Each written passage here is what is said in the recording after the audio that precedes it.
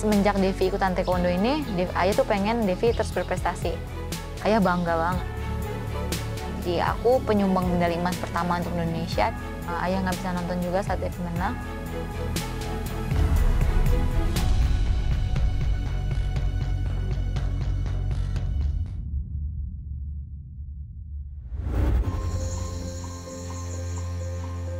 Karena di sekolah itu harus ada punya ekstrakurikuler.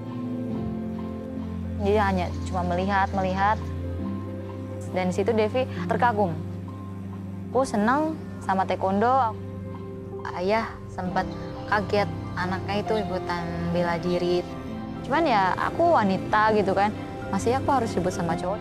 Walaupun mama nggak ngedukung, ada ayah yang ngedukung. Dan uh, ayah cuma bilang, udah nggak apa-apa gitu kan. Biar aja dia mau cari jati dirinya gitu teman-teman Devia uh, sering bermain, sedangkan Devia harus latihan. Waktu jenuh itu pasti ada di taekwondo. Ayah yang selalu semangatin aku, udah senang taekwondo, ayah dukung ya udah. Lama-lama jadi hobi dan sampai sekarang mungkin jadi kesenangan.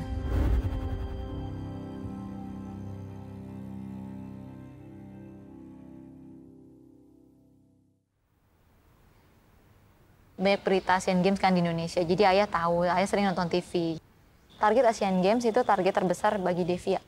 Saat Devia latihan di Korea, uh, Devi dapat kabar kalau ayah meninggal.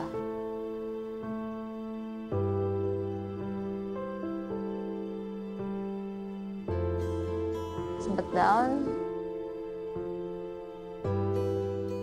Tapi besokannya Devi kayak, aduh nggak mau lagi deh. Devi pulang ke Indonesia langsung tanpa lihat ayah terakhir, uh, Devi datang ke makam ayah, di situ Devi berdoa. Ya tapi Devi selalu ingat semangat dari ayah. Kamu bisa juara di Asian Games bikin bangga keluarga. Aku harus menang, aku pengen menang gitu. Asian Games ini karena target utama aku.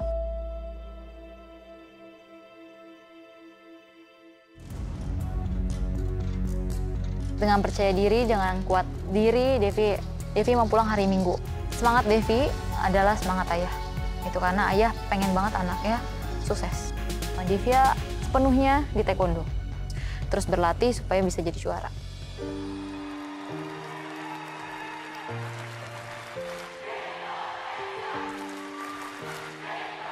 Saat dapat medali emas, Devi dengar uh, suara gemuruh penonton, mimpi Devi jadi kenyataan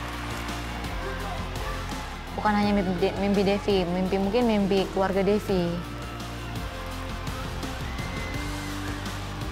Saat itu mama juga nonton, mungkin mama juga sedih, ayah nggak bisa nonton juga saat Devi menang. Devi bisa jadi juara kemarin karena support dari orang-orang sekitar. Dan bisa terus berprestasi membela Indonesia. Salah satu pemikiran Devi, Devi bikin, bikin ayah bangga. Taekwondo bisa merubah orang yang biasa menjadi luar biasa. Nama saya Devi Rosmaniar, olahraga saya adalah olahraga taekwondo.